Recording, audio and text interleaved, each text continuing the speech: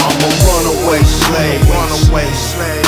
I'm a runaway slave, runaway slave. I'm a runaway slave. And suddenly there was with the angel a multitude of the heavenly host, praising God, and saying, Glory to God in the highest, and on earth peace, goodwill toward men. And that's what Christmas is all about. locks you mentally uh, and emotionally. Emotionally, it locks you into your own bad treatment. You participate in your own bad treatment, right? And teach your children and yourself not to have any regard for yourself. You hear that, boy? That's what Christmas is all about. Love your mama who took that 65% that welfare people get out and turned that shit over and brought you something here to eat. That's what you should love. That's what, that's what our children need to understand. That's what our children need to understand. So uh, that Santa Claus nonsense, tell your child if you see Santa Claus in the neighborhood, you're going to kick his ass and take everything he's got. Because it belongs to us anyway. So, so, so, I mean, I, I, I, you know, I'm making jokes, but I'm very serious about this. And you got relatives who are going to spend a lot of money. Actually, Granddad, Christmas is a pagan holiday, and Jesus probably hates you for celebrating it.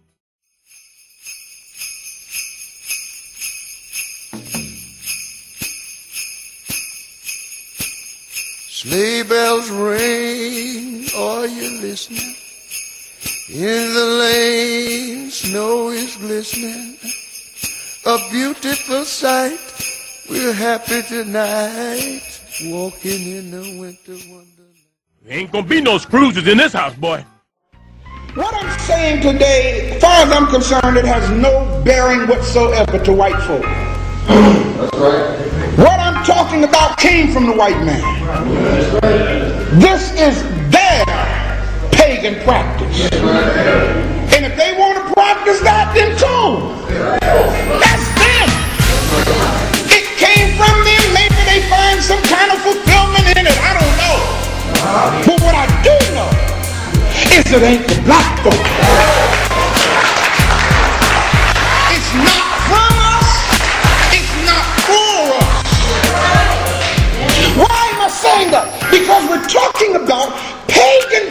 Practices that were created by a non-spiritual people.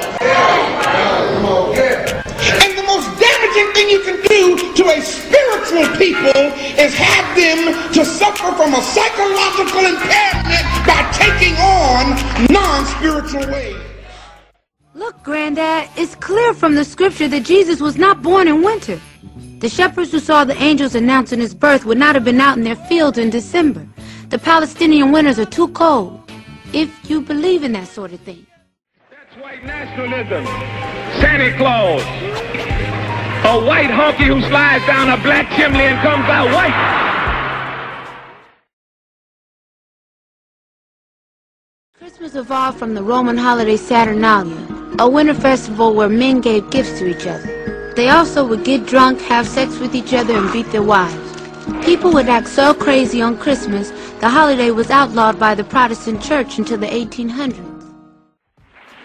But here's a part of the mental genocide of that. You lied to your child for 10, 12 years.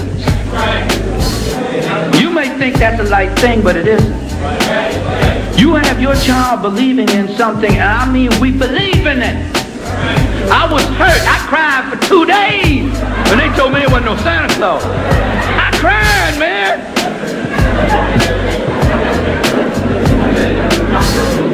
And I'm trying to figure out how can my mama, who's a beautiful woman, who loves me and works hard, right now, work, white, working in white folks' house, washing their clothes, and ironing their clothes, and rubbing their clothes, and take care of me. How can she lie to me like that? And it establishes, if the child is not conscious, it establishes subconsciously a distrust. Time is running out. It establishes a distrust and anything else you say. So now by the time they get to adolescence, you wonder why they don't trust what you say to them. You lie to them like that. For what? To give white folks the credit? Granddad, I'm sorry, boy. What was that?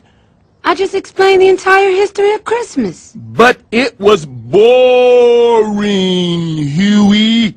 You just blah blah gay sex. You know you gotta be interesting.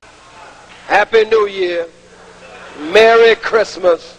Ho, ho, ho.